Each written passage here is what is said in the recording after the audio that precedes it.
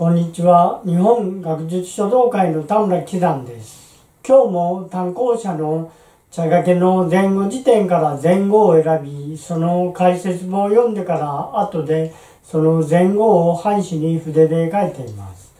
今日の言葉は、山河及び大地、全く不法王心を表すです。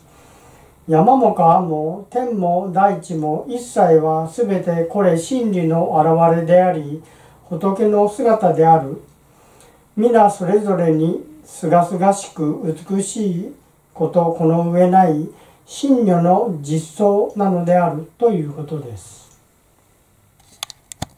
トリネームから山河及び大地全く法王心を表すを書いています。